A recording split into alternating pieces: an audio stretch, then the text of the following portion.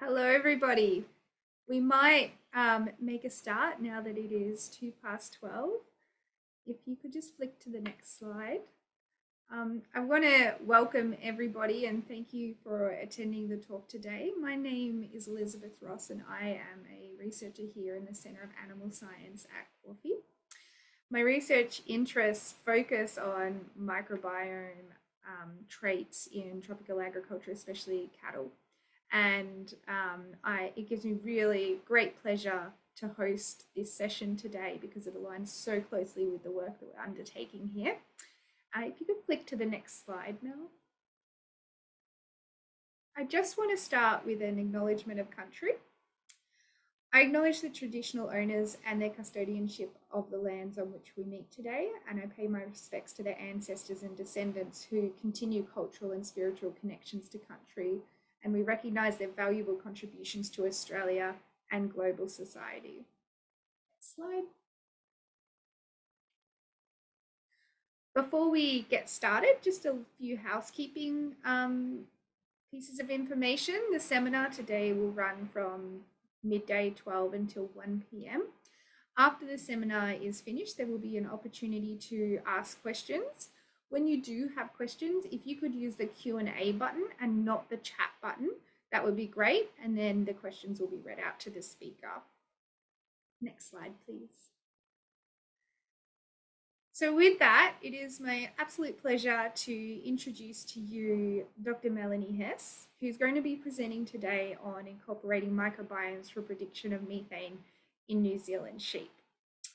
Dr. Melanie Hess is a research associate professor at the University of Nebraska-Lincoln in the USA. She completed her PhD in animal breeding and genetics at Iowa State University with Dr. Dorian Garrick, and she subsequently did a postdoc at AgResearch in New Zealand, where she established a workflow for rumen microbial profiling using restriction enzyme reduced representation sequencing and incorporated those profiles into predictions for environmentally and economically important traits in sheep. She's currently working on the genomics of complicated traits in beef cattle, and her interests are focused on modeling complex data in a way that can be practically used in industry. Melanie's work aligns very closely with a number of initiatives that we're undertaking here at QAAFI, including the CRC for Net Zero Emissions proposal several large MLA funded projects that are using uh, microbiomes to predict methane, as well as our work on cattle um, complicated uh, trait predictions. With that, I want to say thank you, Melanie, for taking the time to share her work with us today. And now I will hand over to Melanie um, to give her presentation. Thanks, Melanie. Uh, thanks very much, Liz, for uh, inviting me to come and talk to you all today. Um, and thank you all for attending this presentation. Um, I'm going to be talking to you today about incorporating microbiomes for prediction of methane in New Zealand sheep. And this is work that I carried out during my postdoc at Ag As common with these types of presentations, it was not an independent effort. Um, I had a huge team behind me that helped ensure that this project um, came to fruition. Um,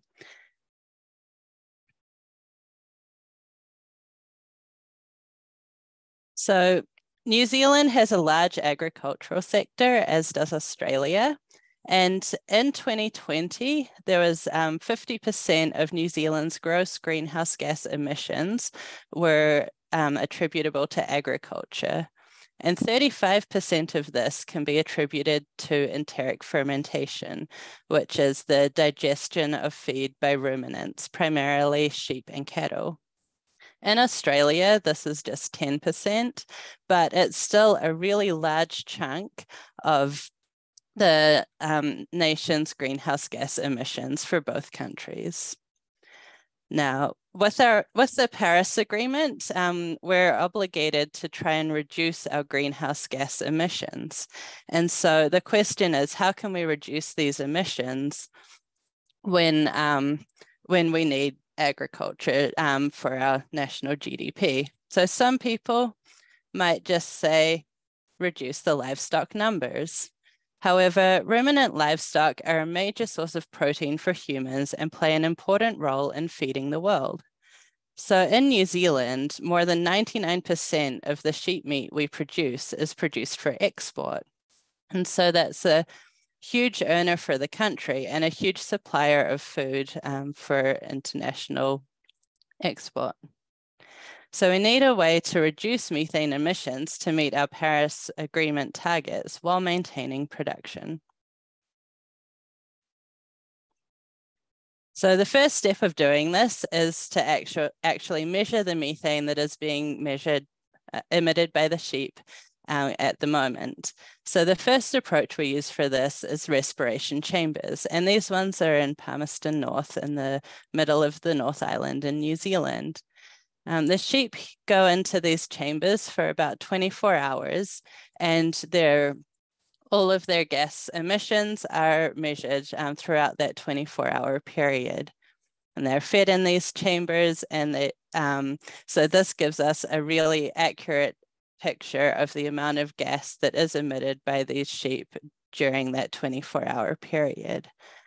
Um, this is a really uh, expensive method um, to measure the methane emissions. And so it's not really going to be feasible to push large numbers of animals um, through these respiration chambers.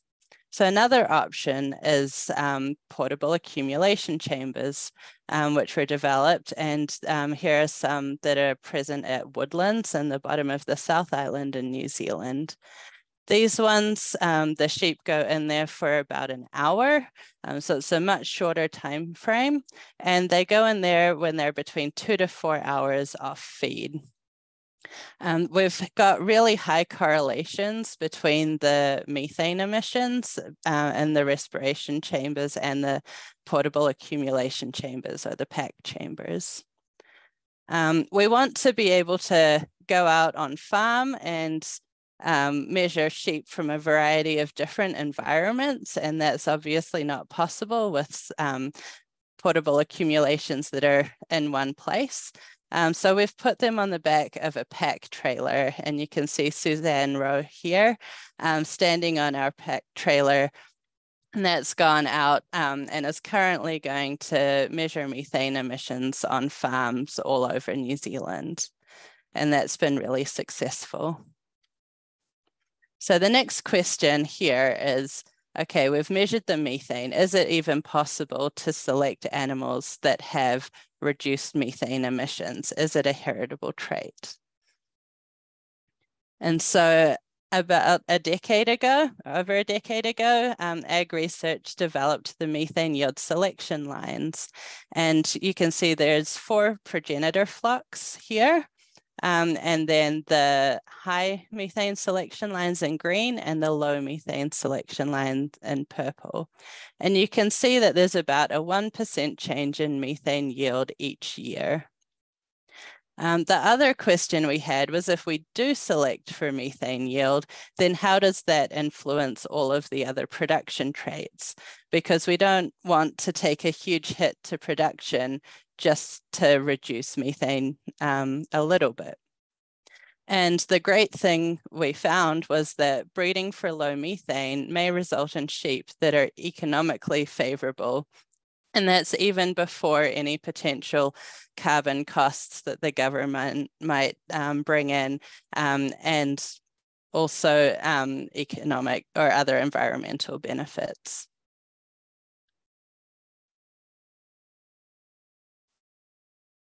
So we have our livestock and we know that they emit methane.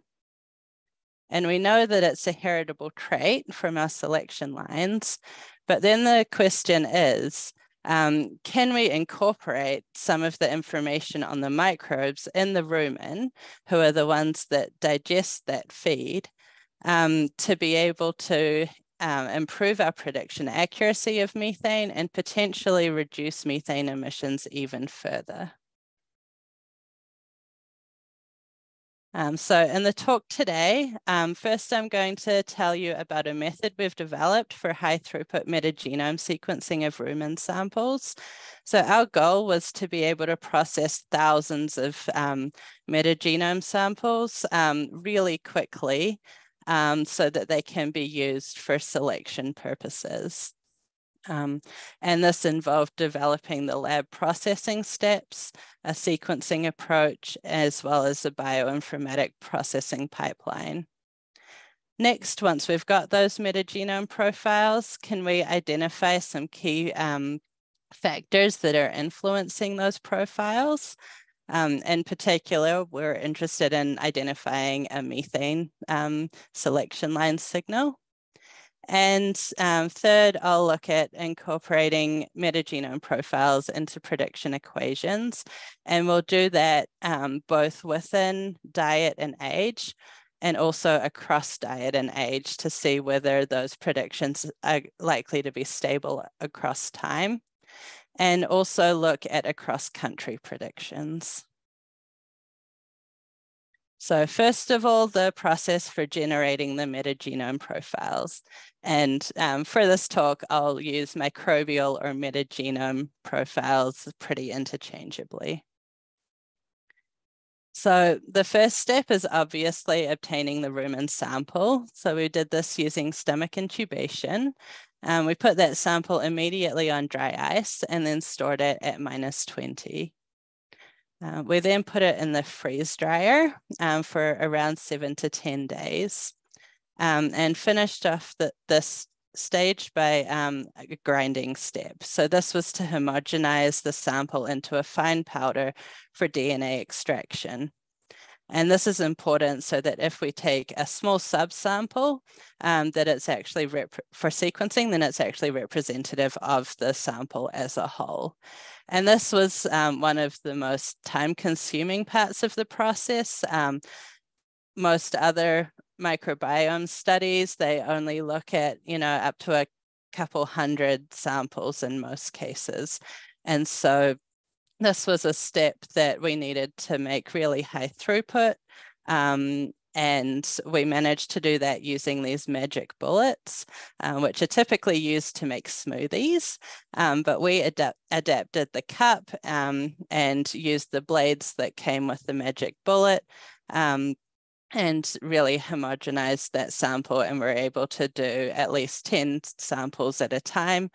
Um, and they only took a few seconds each. So that was um, that was a, a large part of my postdoc was getting that process up and going.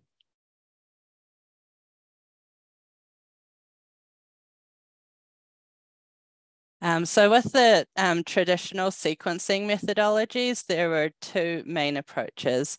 Um, so first of all, um, to capture the metagenome, there's whole genome shotgun. And this has the potential to capture any or all DNA within the sample and generates large amounts of data, so millions of reads per sample. While this is a great approach and really information rich, those millions of reads per sample take a long time to process, particularly when you're dealing with thousands of samples. On the other hand, there's 16S rRNA gene sequencing, also known as 16S, and this is a lot higher throughput than whole genome shotgun. You typically get around, um, you know, a few tens of thousands of reads per sample. And it targets only one gene and, the, and only captures prokaryotes. And so it's higher throughput, but there might be other organisms within the um, rumen that will help us with our methane predictions. So what we needed was a high throughput method to capture metagenomes for accurate predictions. So the approach we used was um, restriction enzyme reduced representation sequencing. And this is the sequencing approach that's regularly used um, for genotyping based sequencing or GBS. Um, so first we extract the DNA from our sample. We then digest the DNA using a restriction enzyme, and in our case, it's PS, PST1. We then um, ligate barcode oligos to li link each sequence with the correct sample. um, and then um, put all the samples together into one library. That we then undergo a fragment size selection step, and then the um, libraries are put on the sequencer. So we used uh, Illumina HiSeq 2500 for our sequencing and had 384 samples per lane. And we did a variety of um, simulations to end up with this number. We could theoretically put up to a thousand samples per lane, um, but due to the lab processes, that wasn't particularly feasible. So we've um, stuck with 384 samples. Uh, we then go through the, um, once we get this sequences, they go through a demultiplexing and trimming QC approach, um, which is using GBSX and Cutadapt.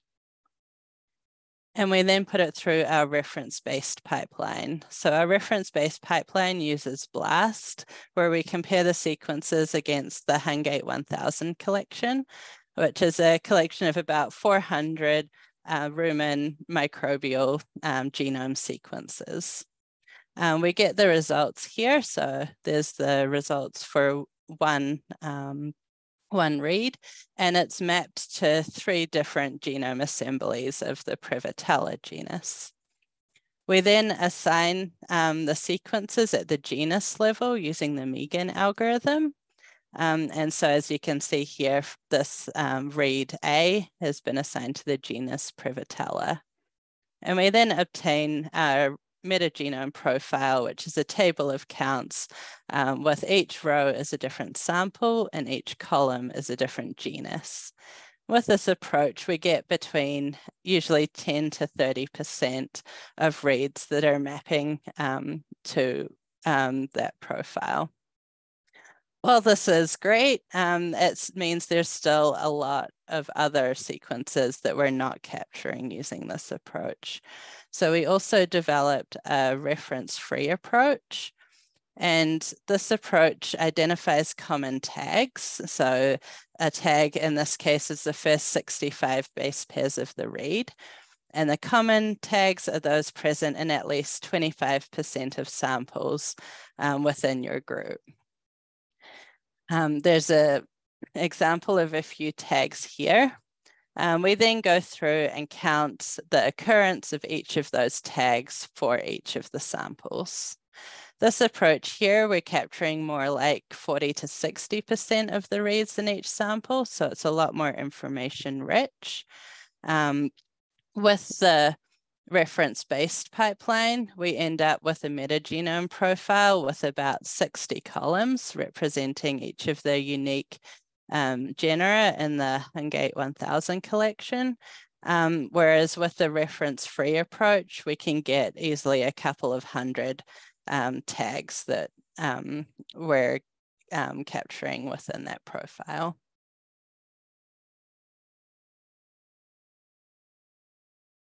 So once we develop that approach, um, we then set uh, um, got set on um, sequencing all of the samples. So um, we sequenced just under four and a half thousand samples for this analysis. Uh, and this was spread across New Zealand and Australian samples, um, the bulk of which were New Zealand samples. Um, there's eight different groups there, seven from New Zealand and one Australian, and these groups were separated um, based on the diet. So whether the animal grazed pasture, um, was on, fed lucerne pellets, maintenance pellets, um, and then the Australian animals were fed a chaffed lucerne and cereal hay diet the age of the animals was either lamb or adult. So we decided an adult was um, those sheep that were older than 15 months of age. And then a long or a short time off feed, where short was two to four hours and long was 15 to 16 hours. Most of these animals were fed ad lib, um, but there were a couple of groups that were fed on a restricted diet. Looking at the number of samples and the number of sheep, we can see in most cases, um, each sheep just had one sample per group. um, but there were a couple of groups where they had two. Um, also, if you look down the columns at the totals, um, you can see that there were some sheep that were captured across multiple groups. So now that we've um, got the sample sequence, we wanted to have a look and see um, what the relationships were between the samples. So do we pick up the expected relationships? And here expected, um, we hope to see a methane selection line signal coming through, um, given that we know that we've got the methane selection lines as one of the flocks in our study. Um, and we know that animals with extreme um, methane emissions uh, do have um, different microbiome profiles.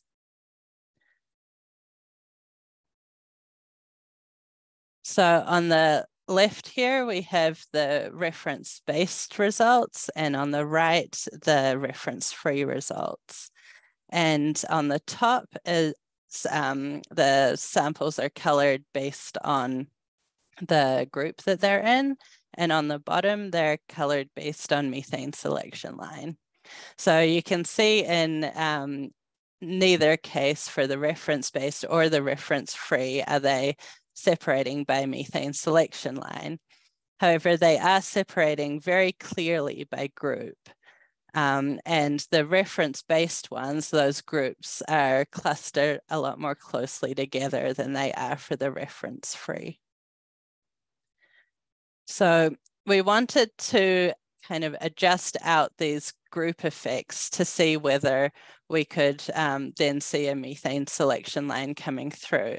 And to do this, we normalized each of the columns within cohort, where a cohort was the set of animals that were collected um, at the same time during the same couple of days from the same flock that were the same age. So every animal within a cohort was within the same group in our study, but the groups would have multiple cohorts within them. And so we see here with the reference-based approach that cohort adjustment gets rid of the structure that we've been seeing by group. Uh, and then when we look at the methane selection lines, we see a signal coming through where the high methane selection lines tend to be on the left and the low tend to be on the right.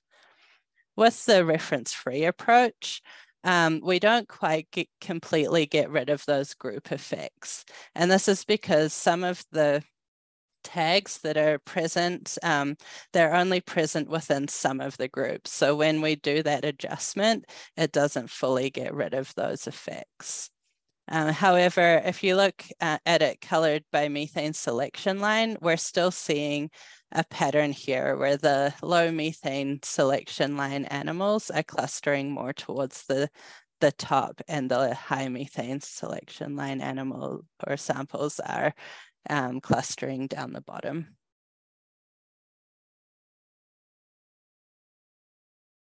Um, so to answer the question, do we pick up the expected relationships between samples?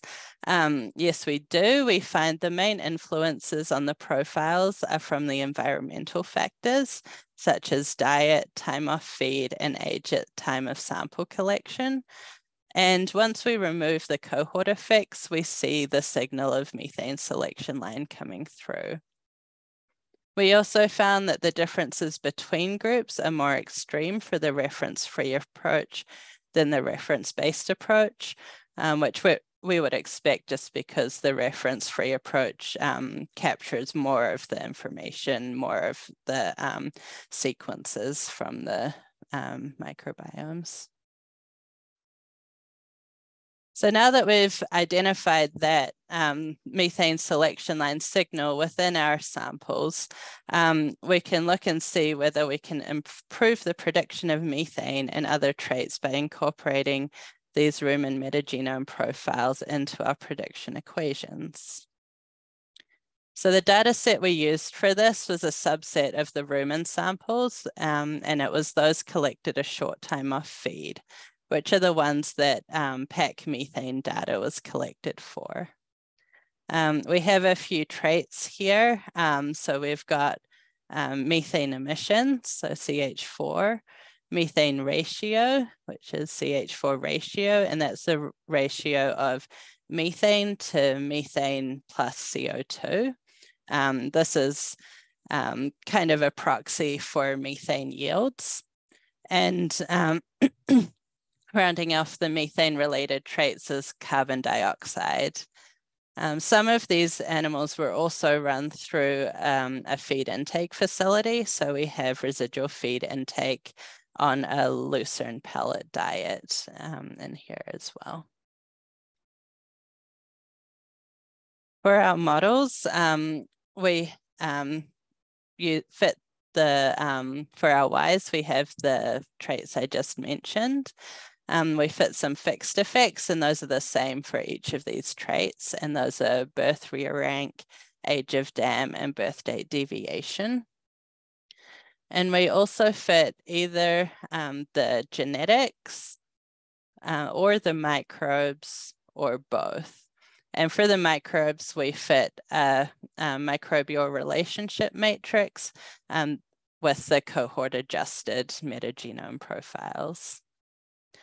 Um, to evaluate the performance of the different models, um, we look at the percent of the phenotypic variance explained. So this is the heritability for the genetic component and what's termed the microbiability for the microbial component.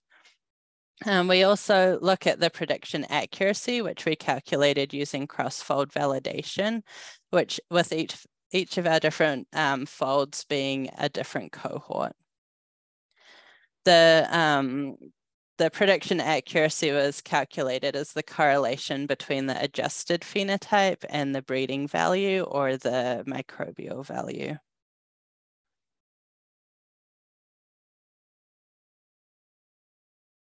Um, so first looking at the variance explained by the relationship matrix. Um, so the variance explained by the reference-free MRM, which is the darker colors, is um, clearly larger than the reference-based MRMs, which are the lighter colors. Um, something else to note is that the microbiability estimates for CO2 are all zero. And the G plus M variance explained is all coming from that genetic component. And so this is consistent with our CO2 emissions largely being driven by factors other than feed digestion in the rumen, um, so we wouldn't really expect um, the microbiome to be able to um, improve prediction of CO2. Um, there's potentially some inflation of the variance explained by the MRM, particularly for the reference-free approach, as we're kind of approaching 100% um, of the variance explained um, using some of those matrices. And then looking at prediction accuracy, um, we have a much greater prediction accuracy when we incorporate um, the microbial metagenome pro um, profiles for these methane traits. And um, consistent with the variance explained, we have no predictive ability of CO2 using the microbiome. Um, so the um, our estimates of the variance explained by the MRM and the prediction accuracy using the MRM are pretty consistent with studies using 16S profiles when we use the reference-based approach. And you can see that we're quite clearly um, getting better results when we use our reference-free approach. So moving forward, I'll just focus on the reference-free approach um, and I'll also not talk anymore about CO2. Um, so just to point out, these were the methane traits in the um, grass lamb set. And so next I'll talk about the methane traits in the grass adults. And we see a really similar pattern here um, in terms of the variance explained and the prediction accuracy um, when we include the um, microbiome information. And so although predicting methane emissions at the same time we collect the sample is of interest, um, it's also important to consider how stable those predictions are across time. And in particular, um, can we use a lamb metagenome profile to predict what the methane emissions will be um, in that individual as an adult? And so the answer is yes, we can. So we don't see quite the same improvement in accuracy as when we collect samples at the same time the phenotype is measured, but we do see an improvement in accuracy when incorporating metagenome profiles as a lamb.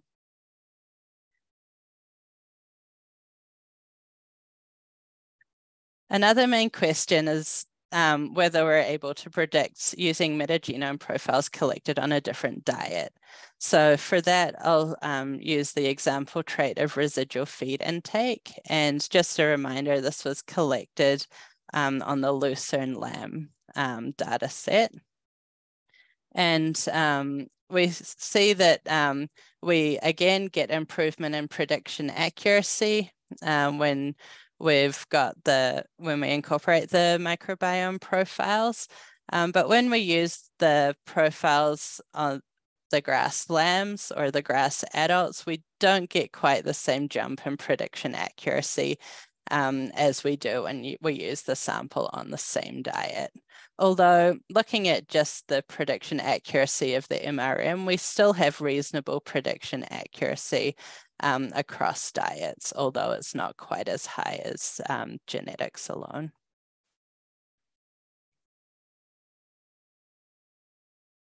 So can we improve prediction accuracy by incorporating microbiomes? And we can for some traits.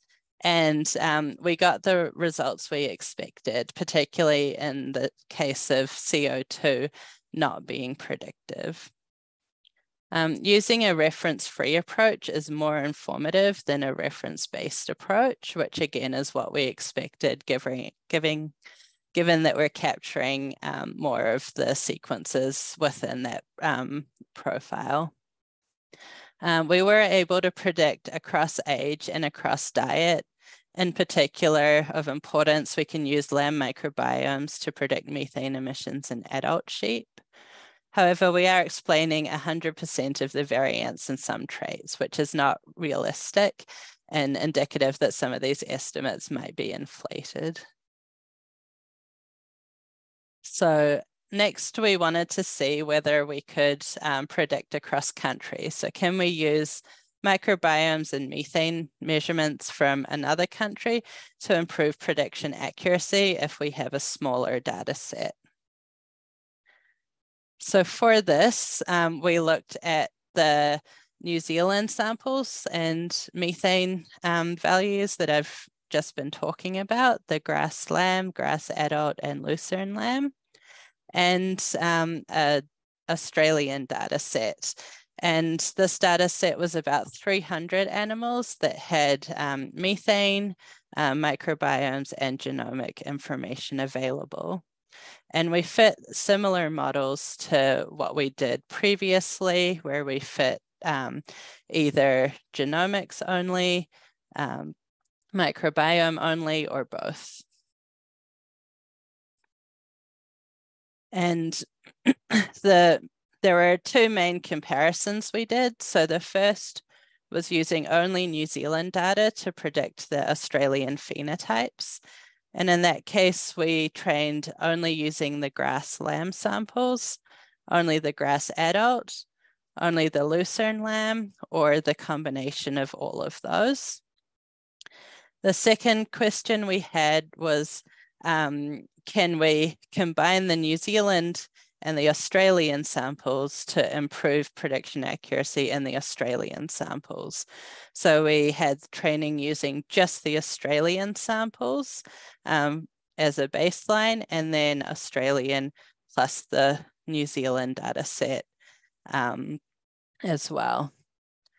Um, for this again, we used um, cross-fold validation with each um, validation set being a, co a different cohort. So here are the results for using New Zealand sheep to predict methane emissions in Australian sheep. And as you can see, the breeding values were mostly positive and the highest accuracy was from the breeding values estimated using the full New Zealand data set and the full model. Most inform um, this was important because it's, or this was expected because it had the most information behind those um, methane measurements. So it had up to three um, methane records per um, individual, one collected on the grass lamb data set, one on the grass adult data set, and one in the lucerne lamb data set. When we look at the microbial value estimates in blue, um, we can see that these were only positive when training on the lambs fed lucerne pellets. Um, the GMV, so genetics plus microbial values, um, were also mostly negative, um, except when training on the lucerne lamb data.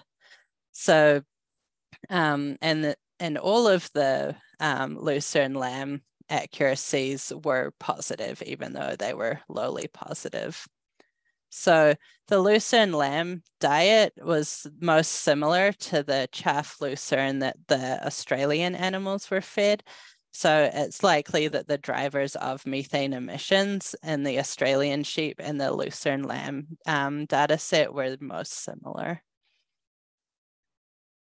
And so for the um, GL, GA, and New Zealand training sets, um, fitting a model including metagenome information tended to improve the accuracy of the breeding value estimate um, beyond the model just accounting for genomic information. Um, so that's essentially um, capturing more of the environmental variation helps to improve the accuracy of the um, genomic component. Um, and finally, for this slide, I just wanted to point out that there are quite big differences in the accuracy of the BV and the model just fitting genomics. And there were essentially the same animals um, in each of the grass lamb, grass adult, and lucerne lamb data sets. Um, the lucerne lamb was actually the smallest data set. Um, but that shows that the, the difference in prediction accuracy is largely being driven by the differences in the methane phenotype on each of those data sets.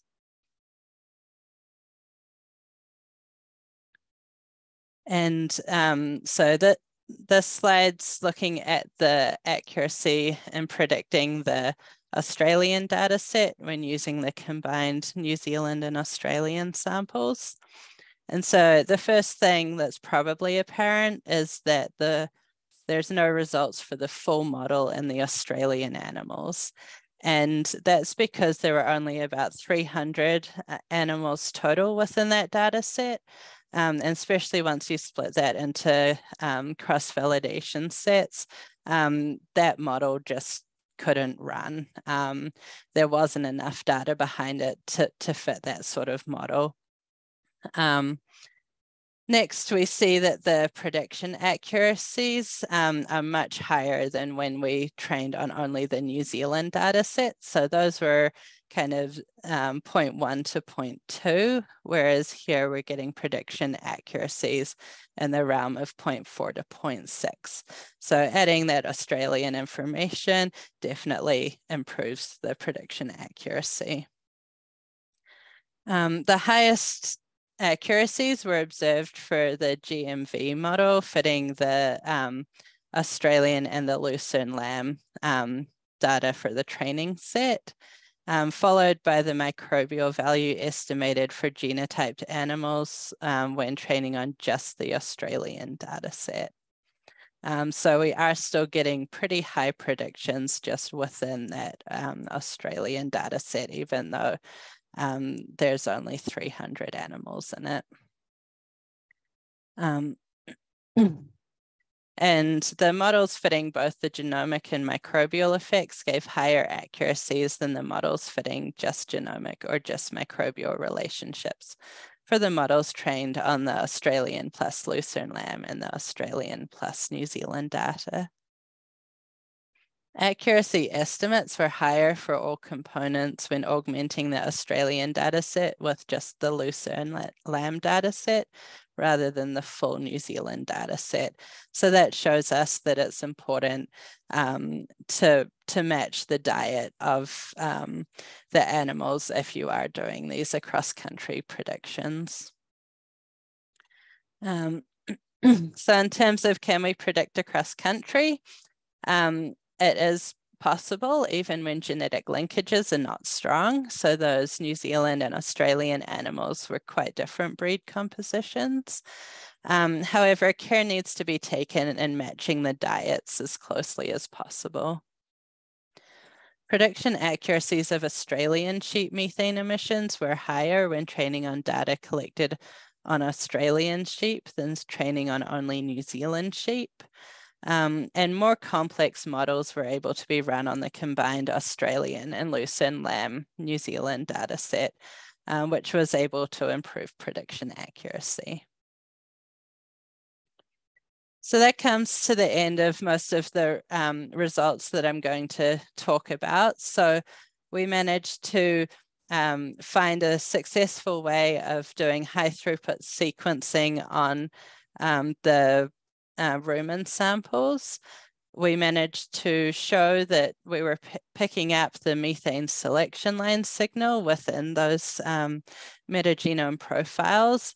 And we're then able to use those profiles to improve prediction accuracy, um, both within a time point and across an animal's lifetime. So then the question is, what next? So the most exciting thing for me, at least, is that um, we found an approach for no more freeze drying and grinding. Um, so we looked at a variety of different solutions that we can use. Um, and this research is um, published at the link shown below there. And um, we found that uh, um, TNX2 or GHX2, two solutions that we looked at, did a pretty good job um, and were pretty gave pretty correlated um, microbiome profiles um, compared to our um, our freeze drying and grinding approach, which we call the GRC method. Um, and this um, these PCA plots that you can see on the right, the top right one is colored by the sample preservation approach. And um, the bottom left here is um, split by um, round one or round two samples. So they're samples collected on the same animals two weeks apart. Um, and we can see that we get um, arguably clearer separation um, between round one and round two than we do um, using these different sample preservation methods. There are, there are a variety of other um, analyses that we've done in that paper to show that um, the TNX2 is a really good substitute for the GRC method. And we've even been able to subsequently um, show that we can use um, GRC um, training data set to predict um, microbial profiles from the TNX um, that were sequenced using TNX2 with reasonable accuracy. And um, the next steps for AgResearch are more samples. Um, so in particular, um, of interest is samples collected in a commercial setting. Um, the results I showed you today are from three different flocks, but those are all AgResearch um, research flocks. And so it was of great importance that we could show that um, these results can um, also be applied in a commercial setting. And we're seeing a prediction accuracy of about 0.3 when we um, predict in those commercial flocks. And that's pretty similar to what we were seeing um, in our analyses that I've presented today. Um, they're also processing samples from New Zealand and a variety of other countries, um, a variety of species, um, sheep, cattle, deer, goats. Um, another question is, can oral swabs be used instead of rumen samples as these are easier and more efficient to collect? Um, it will just simplify that whole process and make it a lot more appealing to collect um, microbiome samples um, on these animals for prediction. Um, and just a plug for the restriction enzyme reduced representation sequencing. Um, this approach can be used on a variety of other types of samples too to get microbial profiles. Um, for example, water samples, soil samples. Um, and if you're interested in using um, restriction enzyme reduced representation sequencing on your own samples, um, then contact Suzanne Rowe, who's um, in charge of all of that. And finally, um, more samples means more data and the potential for exploring alternative models that may further improve prediction accuracy and um, kind of delve into what's really happening and what microbes um, might be playing the biggest roles um, for some of these traits. And with that, I would like to thank all of the funders that made this uh, research possible, um, as well as you all for listening today and uh, willing to take any questions. Thank you.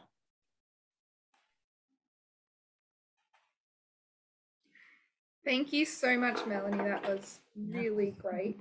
I would ask anybody that does have a question to pop it into that Q&A box not into the chat box so that we can see it um, and read it out. While we're waiting for that, Melanie, I just wanted to quickly ask what's your opinion on these sort of more targeted methods versus something like shotgun sequencing?